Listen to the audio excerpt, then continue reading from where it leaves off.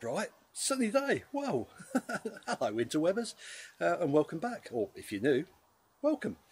Um, right, something a bit different today that not done for a, a little while. Um, off to the Maxey Car Show. I haven't done the car show for quite a while now. In fact, I don't think I've done any this year. I had a little bit of a break from them after I got rid of the S3. So um, join us, come along, and uh, we'll show you what's there. Be a good day. Hello!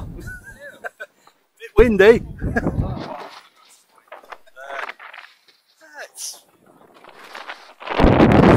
to get busy. Clouds don't look good, but hey, we're here.